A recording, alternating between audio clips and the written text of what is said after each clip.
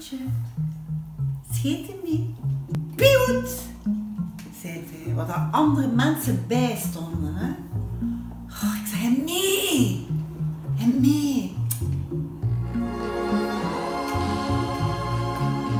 De derde en de vierde keer, dat weet ik niet meer. Maar de eerste en de tweede keer dat hij mee klaar kwam in mij, dat weet ik nog zeer ik heb dat niet gehoord. Niet in staat zijn om relatie te hebben, dat is iets hoor.